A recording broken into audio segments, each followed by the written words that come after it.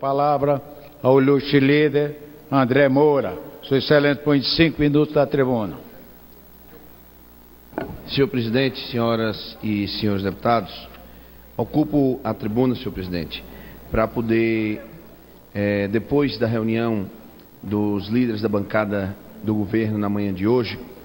é, externar aqui, enquanto líder do PSC nessa casa, a nossa satisfação com a posição adotada pelo governo no encaminhamento da medida provisória 579, que reduz a tarifa de energia elétrica. Sabemos que essa é uma luta que começou aqui neste parlamento, nesta casa, através frente, de uma frente parlamentar, presidida pelo deputado César Halum, do Tocantins, do PSD do, do Tocantins,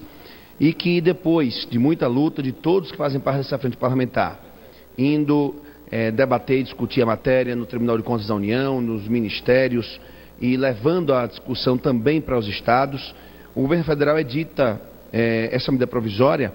que traz um benefício concreto para a população do nosso país. Incentiva a indústria, incentiva o comércio, mas principalmente a população, que poderá ter uma redução média é, na tarifa de energia que, vai, que pode variar de 20% a 28%, e o setor comercial de 16% até 20%. Então eu entendo que essa é uma matéria importante, na qual nós iniciamos uma luta ao lado de vários outros parlamentares, não é de uma frente parlamentar, como já disse aqui, tão bem presidida pelo deputado César Halum, e que o governo federal, não é agora, com essa medida provisória, é, faz com que toda a população brasileira realmente fique satisfeita com a posição adotada pelo governo, pela presidenta Dilma, e dizer que é uma, uma iniciativa é, talvez pioneira do nosso país porque o governo, a gente tem acompanhado aí nos últimos anos, tem o, o que nós temos visto aí são edições de medidas provisórias que normalmente trazem mais despesas para a população brasileira. E essa, ao contrário da grande maioria, ela reduz tarifa, a tarifa de energia elétrica e, e, que beneficia principalmente a população mais carente. Sabemos que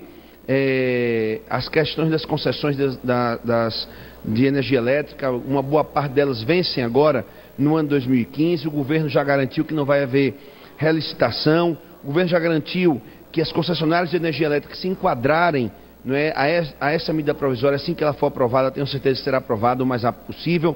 É, todas as concessionárias de energia elétrica elas é, terão o benefício de ter as suas concessões renovadas em 2015 ou, ou assim que forem sendo vencidas, como maneira de incentivar todas essas concessionárias a poder se enquadrar e levar esse benefício à população do nosso país. Então, enquanto líder da, da bancada do PC nessa casa, nós queremos aqui trazer nossa oração ao, ao, ao, ministro das Minas e Energias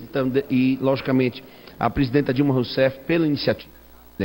Iniciativa é, no nosso país que talvez poucos presidentes tenham é, adotado práticas como essa, de trazer propostas que reduz tarifa, que reduz impostos, que reduz custos para a população do nosso país. Sabemos que os consumidores de energia elétrica serão os maiores beneficiados, a nossa população brasileira. Como eu já disse aqui anteriormente, a indústria e o comércio é, vai receber um incentivo e isso traz, faz, pode trazer para o nosso país mais indústrias, principalmente aquelas que utilizam-se mais de energia elétrica e que é, a gente fica satisfeito na certeza de que agora não é, os consumidores de energia elétrica vão pagar uma tarifa mais justa no nosso Brasil. Então, mais uma vez, parabenizar a iniciativa do governo federal, parabenizar o Ministério das Minas e Energias e parabenizo em nome de toda a bancada do Partido Social Cristão, do PSC, né, que tem como lema o ser humano em primeiro lugar e, logicamente, que se soma uma iniciativa como essa, que já nasceu aqui nessa casa através da frente parlamentar.